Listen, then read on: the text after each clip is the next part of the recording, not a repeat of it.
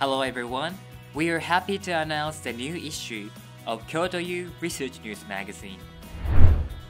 In this issue, we feature the new unit of Kyoto Initiatives for the Humanities and Social Sciences. One of the featured researchers is Dr. Yasuo Deguchi, who we interviewed for our very first episode of the new spin-off series, Kyoto U Research News Bookshelf.